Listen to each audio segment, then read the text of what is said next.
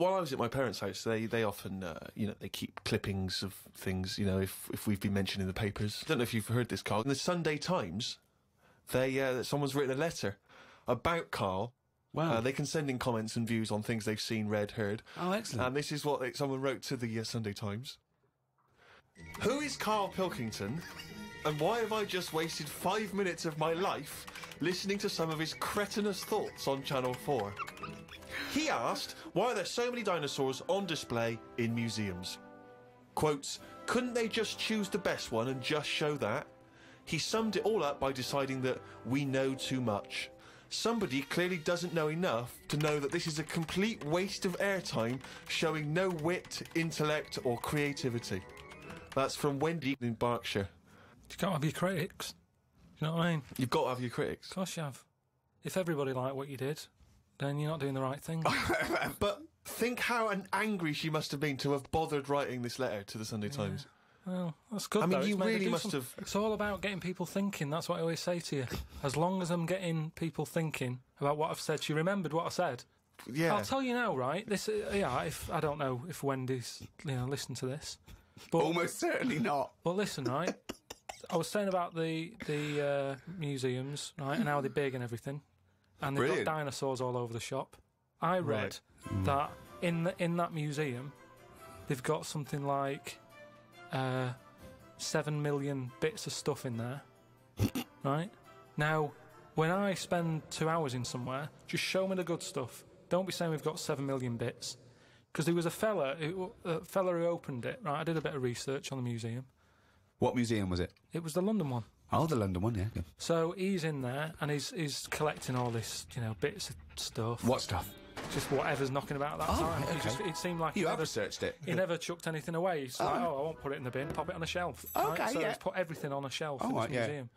Then as time I think you're on- going into too much detail, but just give us the gist of it. No, but all I'm saying is, uh, he keeps everything, and if you keep everything, sometimes it'll be good stuff, right?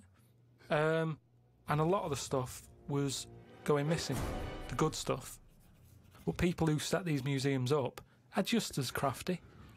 What? The fella who found Tutankhamun, he was pocketing all sorts of fingers and stuff in his pockets on the way out. that had rings on them and stuff. So all I'm saying is, why is she having a go? But She's hang on, wait. No, but we just gave you the chance then to defend yourself, and you just confirmed Wendy's point a thousand times over. What was all this waffle about people nicking stuff? What's that got to do with anything? Because she's having a go at me. I didn't nick But she's having a go at you for talking uh, uh, nonsense uh, that's of no consequence, which is what you just did then. That's all nonsense. But what was your point? All right, then we'll watch L- Wendy's little program when that goes out. Let's see what she's got to talk about. Sick of her.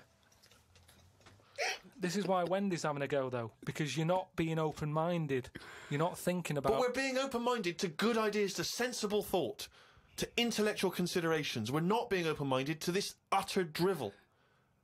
Yeah, but every invention is a bit. Who, who'd have thought the frisbee would have caught on? I love the fact that you think the frisbee is the pinnacle of invention. Yeah. I think it's amazing. No, it's an example of something that you know. If he was on some program where you you know you said I've invented this, did go get out. They wouldn't have. They wouldn't give him time of day to say right. I've made this thing. It's out of plastic. You throw it about. What what for? Well, you just chuck it about on the beach.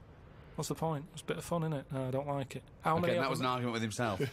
No, but do you know what I mean? It's a popular little thing, and I'm just saying it's easy to put ideas down. But you've never even come up with an idea as good as the frisbee, and that's saying something. I came up with a clippable mat that goes on a cup, and it's a it's a good little thing. I haven't followed it through yet. A what? A clippable mat. What's a clippable mat? What does that involve? mat that you stick on a cup, so you, you can put your cup down on a table without having to go. Oh, where's that mat? It's it's clipped to the cup all the time, and you put the cup down wherever you want because it's got a mat on it. I think I've seen that. But why does it have No, to be haven't. clipped to No, I it? think Why I couldn't it have. just be built into the cup? Because uh, So it clips onto. You got our special cups. It doesn't Yeah. clip onto every cup. no, but just the same way that every sauce is different. You don't say, "Oh, I'm sick of this sauce." It doesn't fit a mug. You, you use the sauce of that. I mean, I don't use sauces. Just don't buy that sort But isn't a furniture. saucer what you're talking about? Uh, kind of, yeah, but it's clippable. See, Karl, when he disses all these great inventions and design, where he says you don't need them, it's just faffing, what he means is he's a little bit annoyed that no one's picked up on his ideas, like the clippable mat for the mug, or, uh, I don't know, what's the one about the tie?